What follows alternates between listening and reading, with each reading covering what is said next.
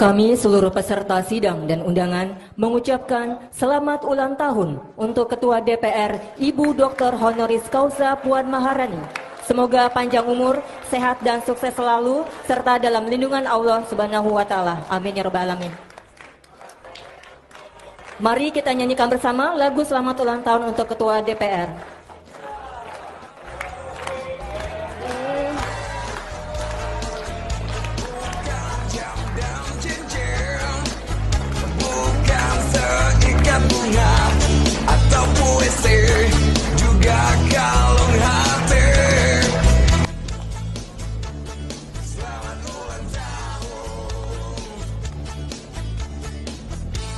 Baik, terima kasih kepada Ibu Bapak undangan.